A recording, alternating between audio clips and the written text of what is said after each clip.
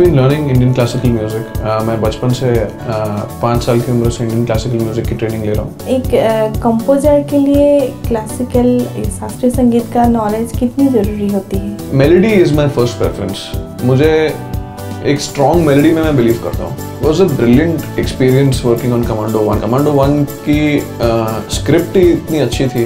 सावन बहरे सावन बहरे आग लगाए सावन बहरे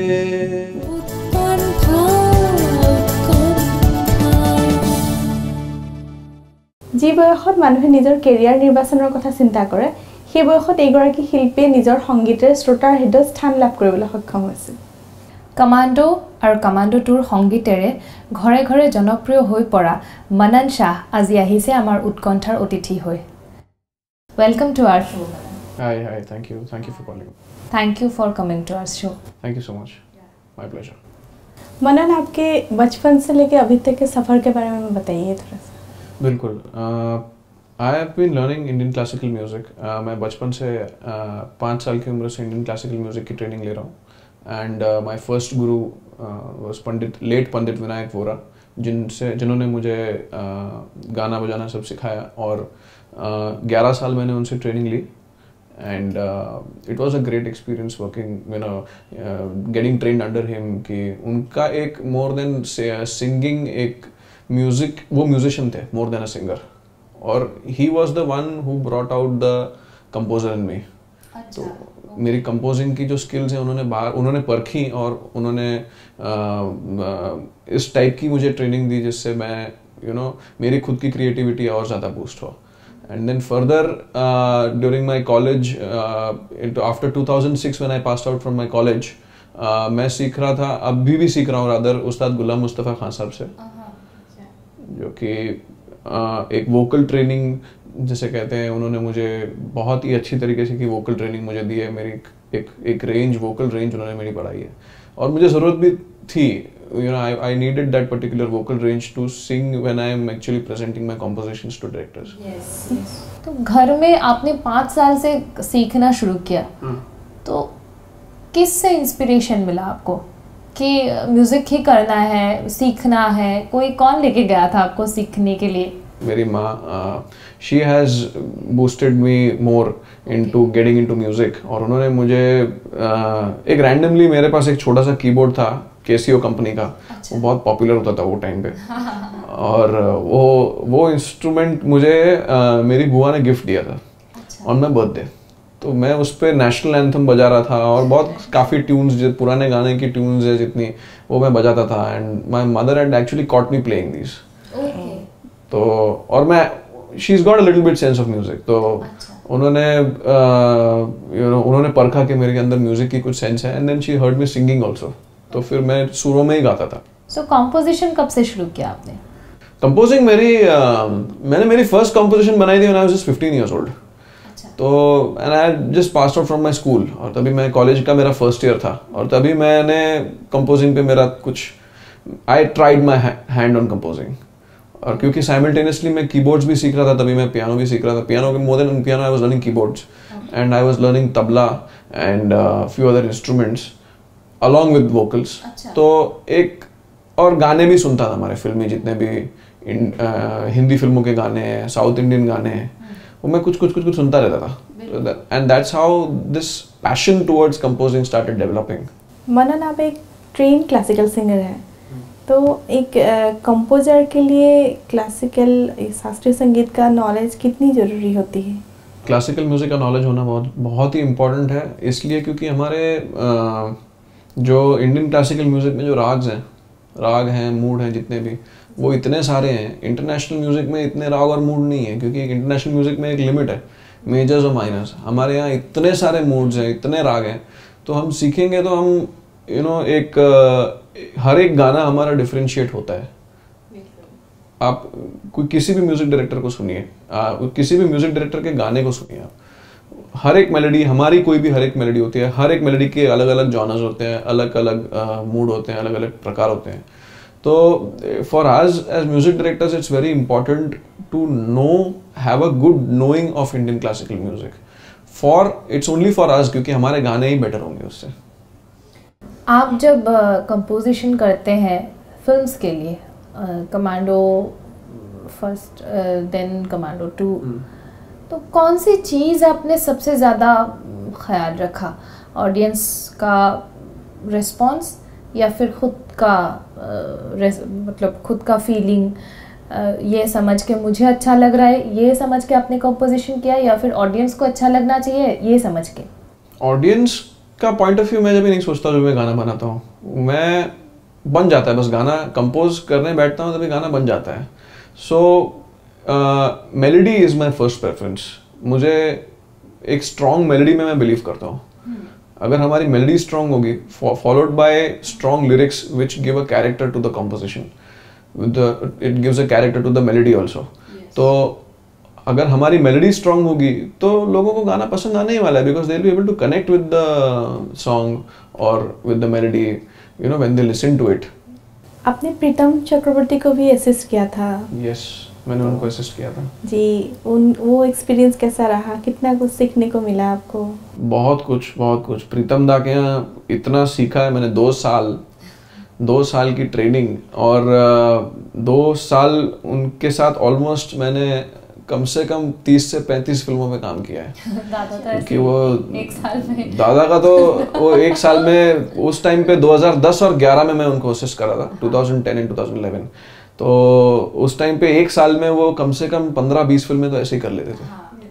And he. Was at at the peak of his career at that time और इतना एक्सपीरियंस मिला उनके लिए गानों के स्क्रैचेस गाए थे मैंने। बहुत सारे स्क्रैचेस गाए थे। एक फ़िल्म आई थी कुचलब जैसा जिसमें राहुल बोस थे। तो वो फ़िल्म के लिए दादा ने मेरे को दो गाने उन्होंने मुझसे गवाए थे। So that was my first two songs that was my debut as a singer originally started singing with that film तो थोड़ा सा सुनाएँगे आप? बिल्कुल बिल्कुल. आई प्ले इट यू एक बहुत अच्छा एक उन्होंने रोमांटिक गाना कंपोज किया था। आई सिंग दैट सॉन्ग कभी मैं जीना चाहूँ कभी मैं भूलूं जीना।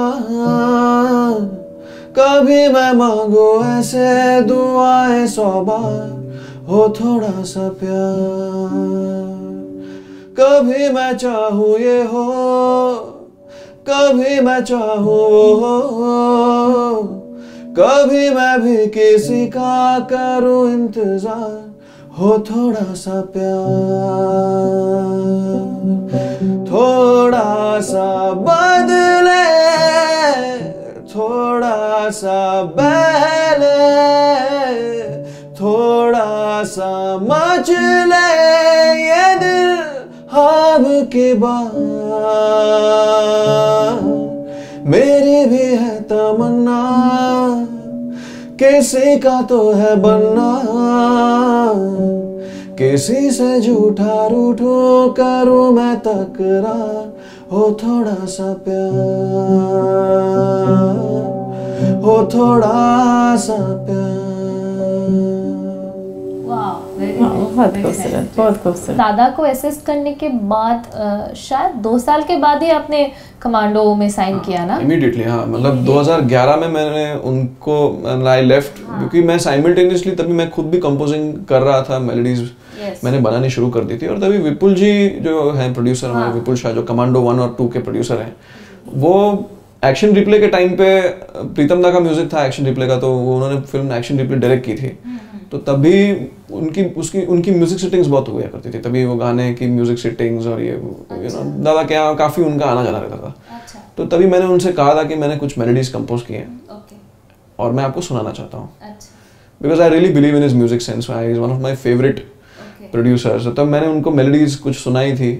उनको अच्छी लगी थी। फिर उसके बाद एक साल बाद उन्होंने फिर मुझसे कुछ कंपोजिशंस बनवाई मैंने बनाई और मैंने उनको सुनाई और ऐसे म्यूज़िक सेटिंग्स करते करते करते कमांडो हो गई। सो कमांडो कैसा था? एक तो चैलेंज तो था ही। बिल्कुल बिल्कुल था। Being a first movie debut movie और म्यूज़िक uh, डायरेक्शन में आप इतना अच्छा गाते भी हैं लेकिन सिंगिंग में ट्राई नहीं किया लेकिन कॉम्पोजिशन में and being a music director आपने पहला ट्राई ऐसा किया। तो हाउ वाज इट कैसा सफ़र था वो? Was a brilliant experience working on commando one commando one की स्क्रिप्ट ही इतनी अच्छी थी जिस तरीके से मुझे नरेट की गई थी स्क्रिप्ट पूरी कमांडो वन की। तो एक पंजाब के एक छोटे से गाँव की एक बनाई हुई कहानी है वो। हाँ। दिलेर कोट करके एक छोटा सा गाँव है वहाँ शूट की गई फ़िल्म है।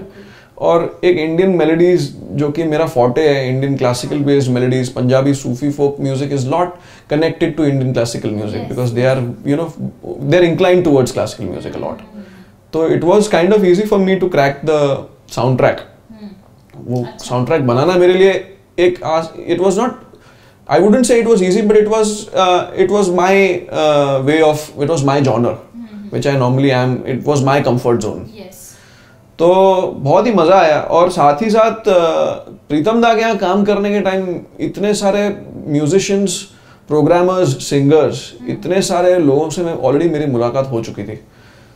तो वो सारे लोग आज उसमें से जो बेस्ट टीम है मैंने चुनी थी ये फ़िल्म पे काम करने के लिए। Because they were all they all became my friends और एक एक्सपीरियंस जो बिल्डअप हुआ था दो साल का वो मुझे पूरा का पूरा एक्सपीरियंस मुझे कमांडो वन पे काम आ गया। और खास तौर पे I would like to add कि कमांडो वन पे मेरा मैक्सिमम 70 टू 80 परसेंट मेरा काम लाइव था। I believe completely in live music और अ, जैसे कि आपने सावन बेरी सुना उसमें मैंने तकरीबन पाँच चार या पाँच तो लाइव इंस्ट्रूमेंट्स हैं मेरे। जैसे कि we use different five six different types of flutes we use sarangi in the music music we used an indian percussion indian percussion हमने एक सेट मेरा एक दोस्त है जो बहुत ही अच्छा इंडियन percussionist है his name is नीतीश उसने बहुत ही अच्छा इंडियन percussion प्ले किया है towards the end of the song. तो इस तरीके का कंपाइलेशन मैंने uh, सभी गानों में कमांडो वन में मैंने किए थे। सो so, वो कमांडो का वो वाला गाना प्लीज़ दो लाइन सावन सावन यस भीगा भीगा सामन है। भीगा भीगा सा है समा। भीगे भीगे से आग है। भीगा भीगा सा है धुआँ। हो रहा सुबह